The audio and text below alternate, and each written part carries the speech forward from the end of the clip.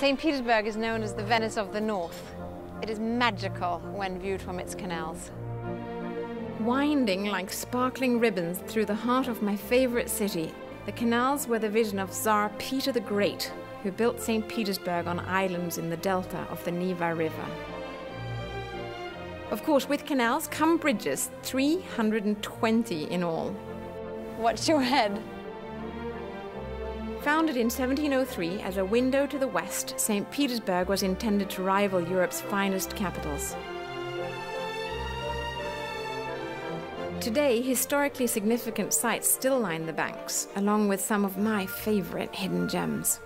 This is New Holland Island, where Peter the Great used to store timber for his shipbuilding activities. There's history everywhere. Russia's capital until 1918, St. Petersburg remains the country's cultural heart. Come explore with us my favorite Russia, the real Russia, with Viking River cruises. No one can share Russia with you like we can.